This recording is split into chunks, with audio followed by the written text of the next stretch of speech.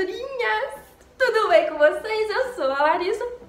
Tá aqui distraída procurando os esmaltes para a nossa decoração de hoje. Desafio unhas descendentes. Vocês escolheram o tema. Já vamos sentar o dedo aqui no pincel, na tinta, né? Para fazer esse desafio. Será que eu vou conseguir? Eita! Se inscreve no canal para não perder nenhum vídeo, deixa o joinha e também já vão colocando mais ideias aí de desafios, tá bom? De unhas decoradas, desafios. Não precisa ser só coisa bonita não, pode colocar coisa estranha também que nós tentamos fazer, tá beleza? Simbora, vamos fazer esse negócio, eu já escolhi os esmaltes aqui. Hum.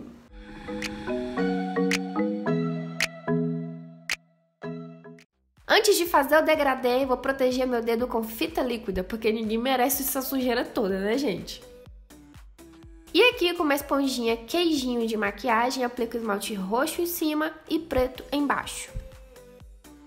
Vou meio que carimbar a unha desse jeitinho, quantas vezes forem necessárias até o degradê ficar bem marcado.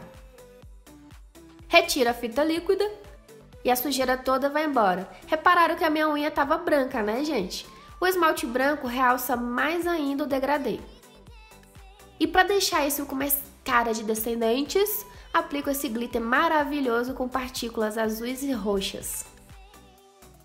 Na unha do dedo anelar, vou fazer a filha única, que é a logo, é o símbolo dos descendentes, que é uma maçã vermelha mordida. Então aqui eu peguei uma tinta bem vermelha viva, assim, mas é vermelhão, tá? E desenho a maçã, uma maçã bem gordinha, bem cheia de curvas. Aqui desse lado, duas mordidas fechando embaixo. Fiz o contorno e vou preenchendo tudo. Aqui no cantinho das mordidas eu peguei uma tinta mais clarinha puxada por creme pra gente fazer, né, a cor da maçã quando você morde. E deixa eu perguntar, qual que é o seu personagem favorito em Descendentes? Conta pra mim que eu tô muito curiosa. Peguei uma tinta dourada agora e venho fazendo esses arabescos, né? Como se fosse aqueles galhos com espinhos que estão em volta da maçã. Primeiro eu faço o contorno desse jeito, depois eu vou engrossando essas partes. Aqui na pontinha uma folhinha.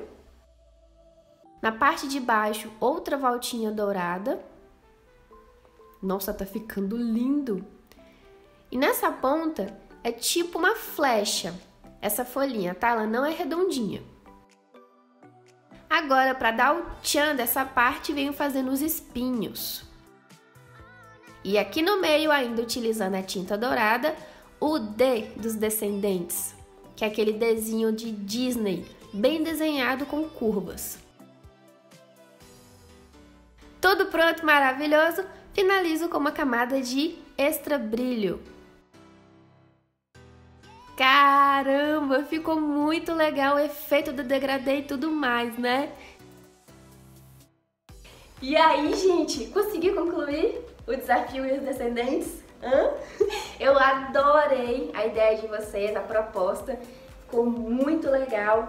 Olha o destaque que a maçã tem nas unhas, né? E é só a filha única que eu fiz. Sem contar o degradê. Esse degradê ficou fantástico fantástico. Não esqueçam de comentar aí mais ideias de desafios, tá bom? Eu vou olhando, aquele que tivesse mais comentário, né? Eu já separo pra gente fazer o vídeo aqui, tá beleza? Gente, gostei da ideia, vocês são nota 10. Super amei.